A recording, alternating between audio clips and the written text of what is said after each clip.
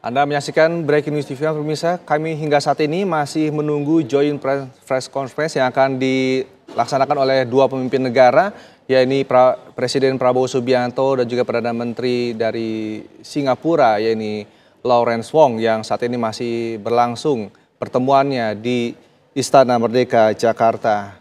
Seperti yang kita, kita saksikan bersama pemirsa, pertemuan keduanya ini telah berlangsung sejak pagi hari, yaitu tepatnya pukul 9.30 waktu Indonesia Barat. Dan dalam pertemuan ini telah dilakukan penyambutan secara kenegaraan yang dilaksanakan di halaman Istana Merdeka Jakarta pada Rabu pagi.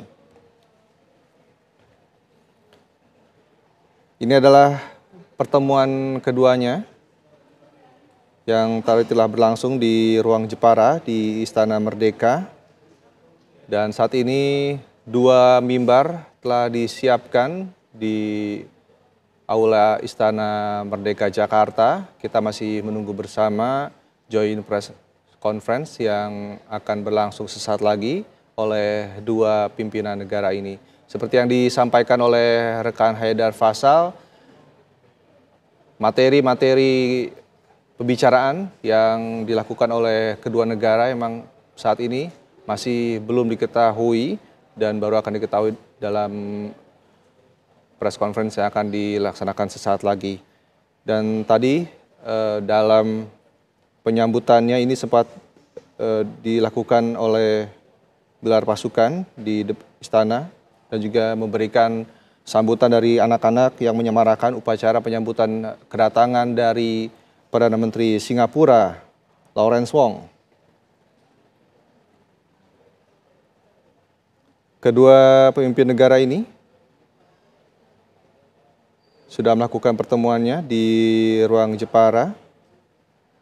Prabowo juga membawa sejumlah menteri dalam pertemuan dengan Perdana Menteri Singapura saat ini. Di antaranya adalah Menteri Pertahanan Syafri Syamsuddin, Menteri Kesehatan Budi Gunadi Sadikin, Menteri Luar Negeri Sugiono, Menteri Sekretaris Negara Prasetyo Hadi, Menteri Komunikasi dan Digital Mutia Hafid, serta Menteri Ketenagakerjaan Yasirli. Sementara dari Perdana Menteri Singapura juga membawa sejumlah menteri dalam pertemuan kali ini, di antaranya adalah Menteri Pertahanan Singapura dan Menteri Ketenagakerjaan serta Menteri Digital Singapura.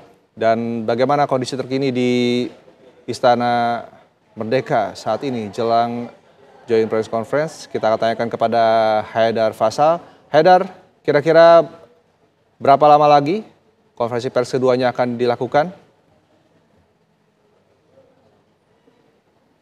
Ya, baik. Dan dan juga pemirsa. Untuk pertemuannya, kami belum bisa pastikan uh, berapa lama lagi pertemuan akan selesai. Namun ini bisa kami pastikan bahwa ternyata ini pertemuan bilateralnya baru saja terjadi. Jadi setelah tadi uh, Perdana Menteri Singapura, Lorenzo tiba di Istana Merdeka dan juga kemudian disambut langsung oleh Presiden Prabowo Subianto dan diajak masuk ke dalam uh, gedung Istana Merdeka. Ternyata di sana uh, tidak langsung terjadi pertemuan bilateral, melainkan terjadi pertemuan empat mata antara Prabowo Subianto dan juga Lawrence Wong. Inilah yang dikatakan uh, memakan waktu cukup lama. Uh, pertemuan empat mata antara Lawrence Wong dan juga Prabowo Subianto. Apa yang dibahas? Kami juga belum mengetahui nanti kami akan coba bertanya jika ada kesempatan. Namun informasi yang kami peroleh bahwa uh, setelah pertemuan empat mata tersebut terjadi, memang barulah dilakukan pertemuan bilateral. Tadi kita ketahui bersama dan tadi saya juga sudah menyampaikan bahwa masing-masing kepala negara baik Indonesia ataupun Singapura membawa delegasinya masing-masing dan itulah uh, pertemuan bilateral di mana nantinya juga akan uh, pertemuan tersebut juga akan uh, dihadiri oleh berbagai menteri tersebut untuk membahas berbagai uh, hal tentunya berbagai isu yang berkaitan dengan kepentingan dari kedua negara.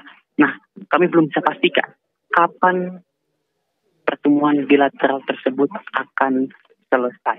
Dan untuk pembahasannya pun kami masih belum juga memiliki clue apa yang menjadi bahasan dalam pertemuan tersebut. Namun jika kita uh, berkaca pada pernyataan yang sempat disampaikan oleh juru bicara uh, Kementerian Luar Negeri yakni adalah Rolian Syah Sumirat bahwa dikatakan akan ada banyak isu-isu yang diangkat yang menjadi kepentingan, perhatian, dan prioritas bersama. Terlebih, kita ketahui bersama juga bahwa Indonesia dan juga Singapura ini memiliki hubungan yang cukup dekat uh, dan juga sering kali uh, bekerja sama dalam bidang-bidang uh, budaya ataupun ekonomi begitu. Tentunya diharapkan pertemuan ini dapat menghasilkan poin penting yang dapat mempengaruhi kemajuan bagi kedua negara baik Indonesia ataupun Singapura. Terlebih kita tahu bahwa keduanya juga merupakan sama-sama bagian dari ASEAN.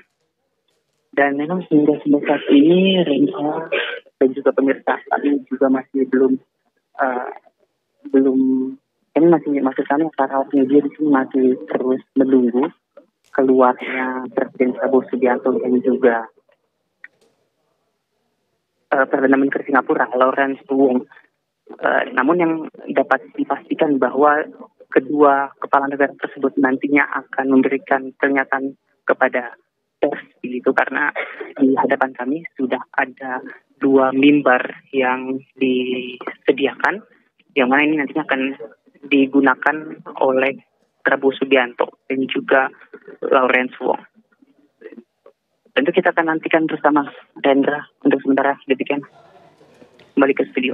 Baik, terima kasih Haidar Fasal informasinya dari Istana Merdeka Jakarta dan bisa kami masih menantikan konferensi pers antara kedua pimpinan negara ini namun tetaplah bersama kami di Breaking News TV One.